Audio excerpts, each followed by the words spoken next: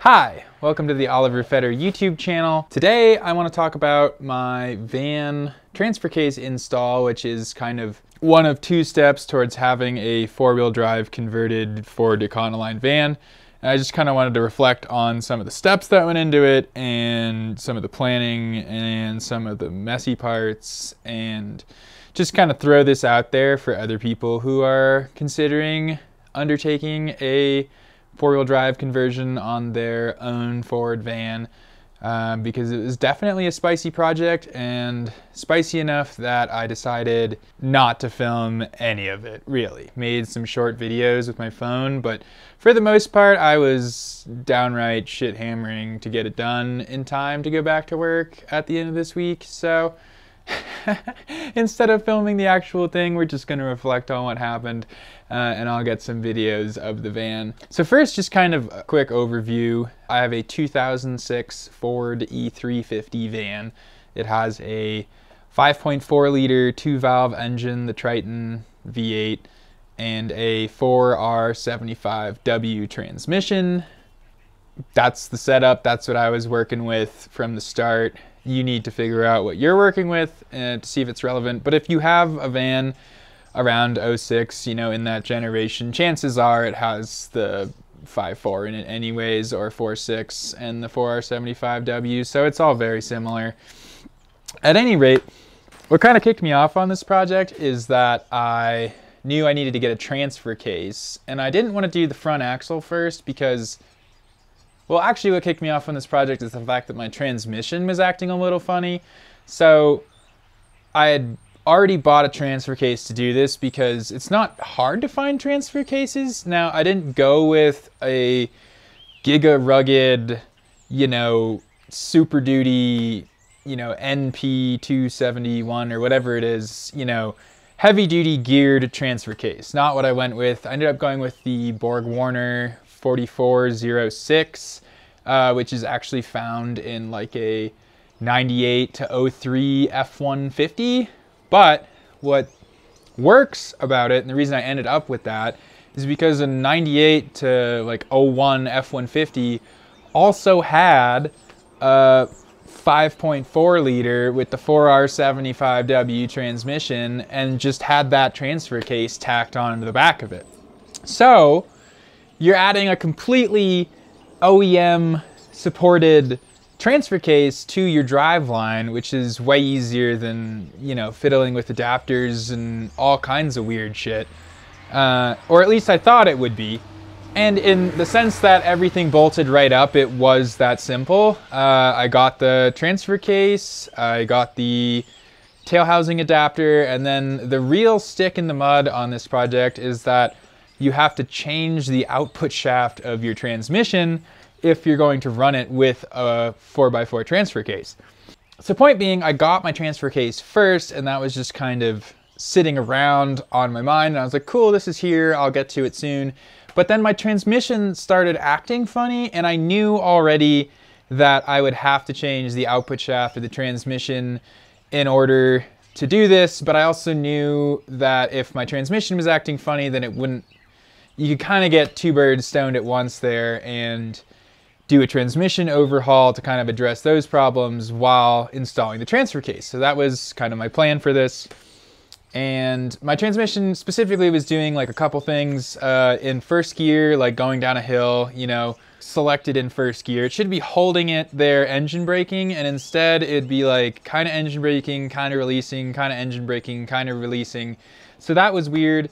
And then it also had like some pretty strange clunks uh, with overdrive on and off and on and off the gas. Like there was things had play that you could tell. So I knew it probably needed serviced or looked at at least anyways. So I just went ahead and after my last couple weeks of working, I was like, screw it, this week I'm gonna order all the shit.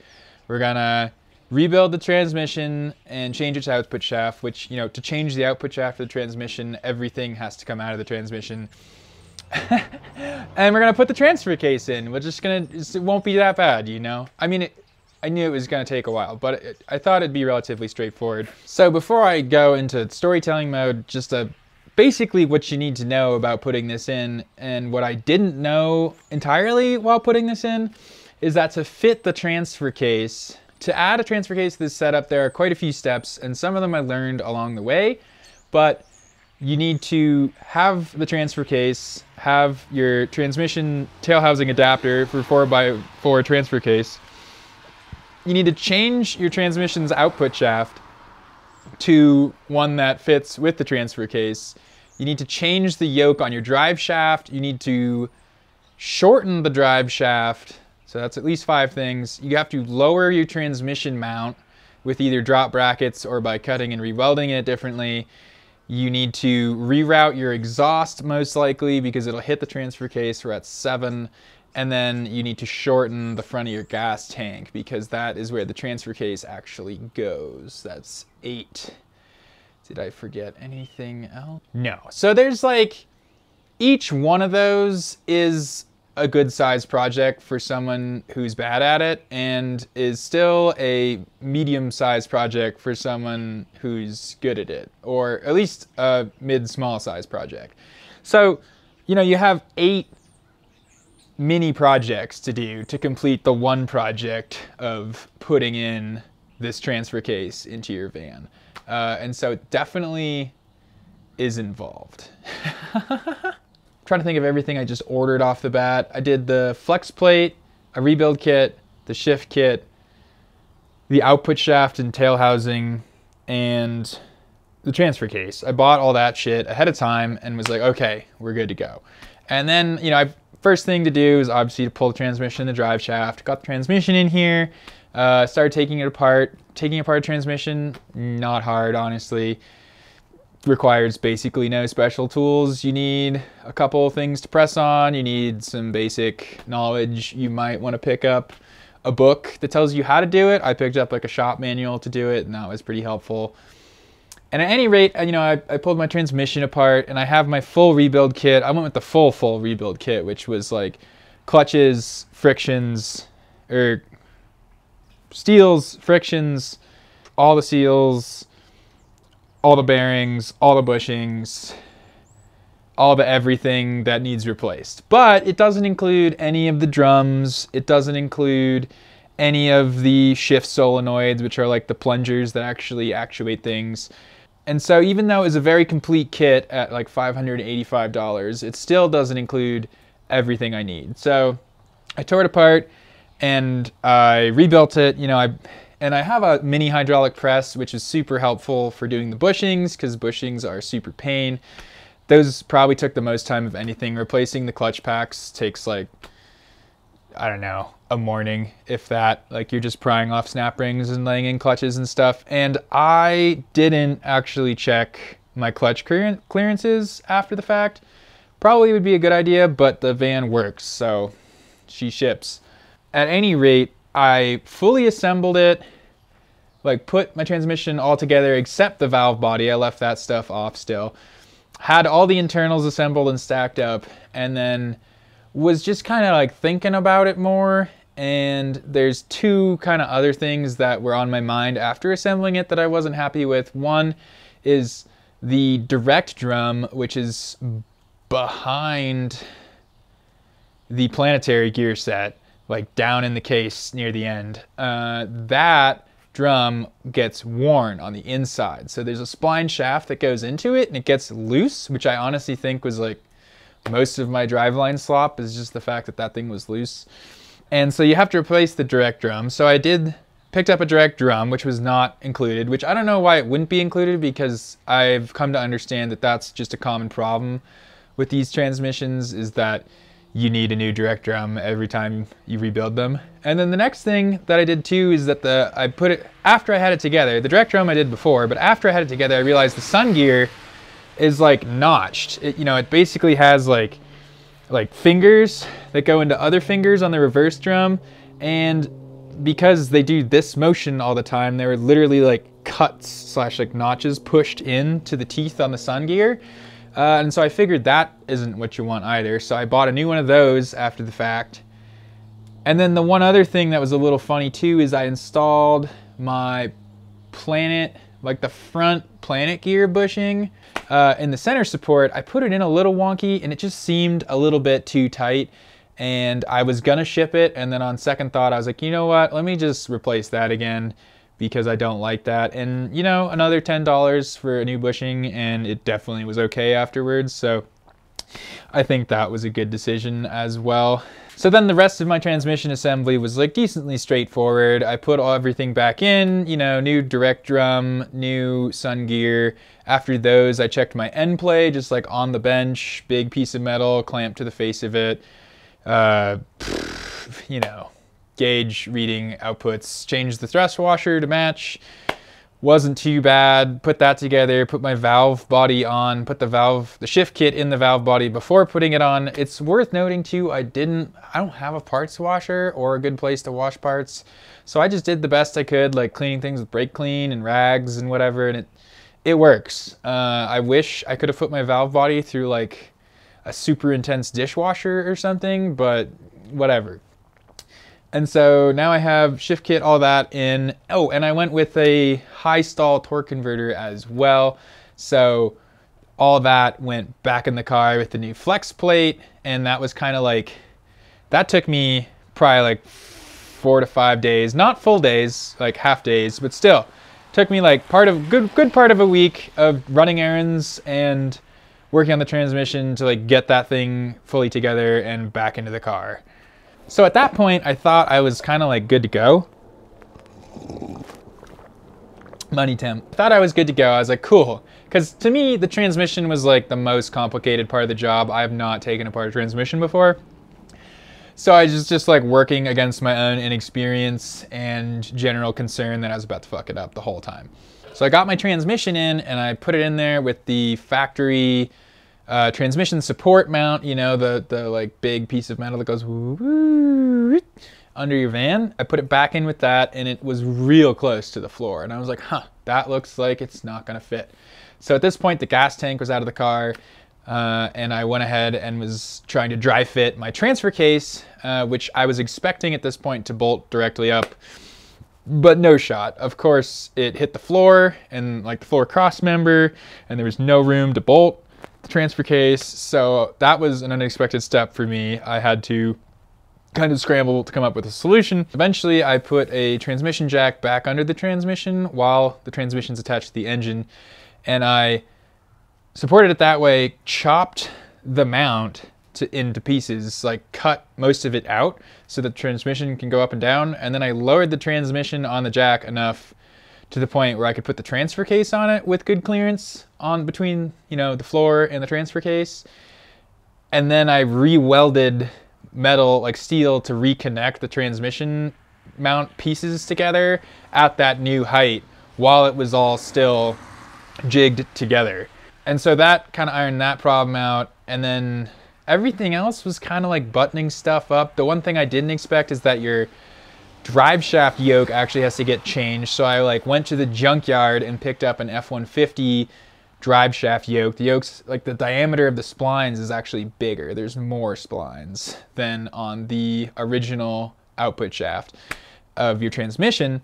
So I went and picked up a junk drive shaft with the yoke that I knew would fit and then brought that to the drive shaft shop along with the aluminum drive shaft to get shortened and told them, hey, please swap the yokes and shorten this drive shaft. And also, while I had everything in and like was fit checking, I measured how long my drive shaft would have to be and or how much I needed to remove from the drive shaft and so I could send that off to the shop to get done. So while that's getting done, the last thing that totally porked my timeline on this because at this point it was ready in a week. I did the transmission in like four or five days, four days really, and then I had the transfer case, the transmission mount, all that shit back in like within another couple days. Uh, but what really porked me was that I shortened the gas tank, which wasn't actually that bad. You just kind of like, as I first tried to put to, to trim the gas tank, you know, all you really have to do is mark it, do your best to cut it once, and you're not gonna get it like flat. There's no chance because it's a really weird shape. But then after you cut it once, you can hold that same, that nice flat plate of metal you're gonna seal the end with up to it, and you can actually like you know, hold a marker off of that edge and trace a nice crisp line all the way around. And now you have a perfect cut to work with. So welding that up is very straightforward. You know, you're just welding a steel tank to a steel plate. You can use a MIG welder, it's all good. Uh, but what I didn't expect that was actually a horrible time crunch this week because I'm going back to work like in a few days was that I had to seal that weld with gas tank liner. And I, I, my first plan was just to not do that. And then I put some gas in the tank and like swished it around my weld and you know, uh, there was like nine, ten leaks from pinholes in the weld. And so that wasn't good enough for me. So I was like, okay, we have to seal it. But the gas tank sealer takes 96 hours to dry. That's four days. So even though my van was ready to drive on Sunday night, I haven't, I didn't actually put gas in it and start it until Thursday, like afternoon. I had to wait all that time just for the stupid gas tank liner to dry. All the while wondering if my transmission rebuild was gonna work because I haven't done that before. so that was like way too intense to deal with uh, in general. But you know, at the end of the day, I, I put everything back in. Uh, I welded the exhaust up. That honestly wasn't so bad because you don't have to readjust that much. It's only like this much of the cross section, you know, the exhaust that goes from this side to that side that you really have to worry about. Got that all back in got my shifter routed. The shifter was interesting too because I initially cut the hole for it way too big and way too far back. I would definitely recommend removing your seats, pulling up the carpet first, and cutting your hole like pretty far forward, like directly over where the shifter connects to the transfer case. And the other thing I had to do in that vein too is I had to shorten the transfer case linkage just a little bit between the shifter and the transfer case where like that link I had to take probably like a half inch out of it or, or an inch, something like that. All in all, went decently smoothly. Uh, you know, that was kind of my dramatic story of how it went for me, but you get the idea. Like those are all the steps you're gonna have to take. Oh, and then finally last night I get the tank in because it's dry finally. I put gas in it and I already have some transmission fluid in my transmission, but you know, I, I wasn't sure how much it was going to take. I got four gallons just to have on hand. It already had two quarts in the torque converter. It had basically the rest of like two or three quarts in the pan. And I was like, oh, that's like probably enough, right? Uh, and so I started it and, you know, started it, turned it off, filled it immediately, started it again, ran it through the gears, you know, put it in drive, absolutely nothing happens. And I was like, okay, I can't rebuild transmissions. I was panicking. Uh, and then it turns out when you rebuild a transmission, you have to add a lot of fluid to it. So then I ended up adding almost three total gallons of ATF to my transmission and continued cycling it through its gears, you know, a bunch of times, forward, reverse, forward, reverse. And then once it actually moved, like once you got to the point where you'd put it in drive and it would actually select drive, you know, and like put tension on your drive chain immediately, then I finished, because it was still weird and wonky, I finished by starting to take it on drives around the block. I think I took it on three separate drives around the block where I'd fill it a bit, take it down the street, up and around, come back. Because at that point, going up the hill and down and around was enough to get like most of the fluid out of the transmission dipstick tube from filling it at which point I could check the fluid level again and then add some as needed. Anyways, it was a long process of doing that last night. Uh, not that long, but at least an hour worth of filling it, checking it, filling it, checking it. The whole, all the while panicking that like I had failed on my rebuild and that the clutch packs weren't engaging and that's why it wasn't moving. Uh, yeah, small things. Uh, but at any rate, it now works, uh, and it was a kind of a fat undertaking overall. Uh, I think I kind of massively underestimated it. Like I knew it'd be a lot of work, but like it's a lot of work, especially if you don't know what you're doing. I think now if I did a second one, it would be a lot smoother because I'd be fully planned for each step. I guess like couple quick reflections on things overall. If you were thinking of doing like this same project, adding the transfer case, keeping your same transmission, yada yada. Uh, if your transmission's working well, don't don't buy a full rebuild kit. Just go in there and like change your output shaft and maybe slap a shift kit in it and get out and do it carefully. Because I felt like I spent most of the money on transmission parts on my rebuilds and it seemed to me like the parts I really needed were the direct drum and the sun gear and maybe some new bushings and I'm glad I did a full rebuild on mine, I guess, because it had a lot of miles on it. But if yours doesn't have a lot of miles on it, like don't don't bother. Like clutches and steels and all of that like can be reused if they're good and not burnt. So I would highly recommend leaving extra time finding a local transmission parts store from which to source the parts you need and then start by taking it apart and checking everything as opposed to like ordering a shitload of parts first and throwing them all in there anyways. Like I wish I took it apart, saw what it needed, got those specific parts, put them in and put it back together and I probably would have spent half as much on the transmission. And then as far as the other parts of the project, you know, just know you need to do them. Uh, like dropping mounts and cutting exhaust and reworking exhaust. Phew! Well, at any rate, that felt like at least a half hour worth of rambling about what I just did. I hope there are some helpful nuggets in there for you if you are considering doing this. This isn't to dissuade you from doing it because it's kind of a fun project overall. You get into lots of interesting drivetrain components when you do it, but it is burly and you need to know what you're getting into. Um, at any rate, thank you for watching. I hope you enjoyed. Appreciate ya.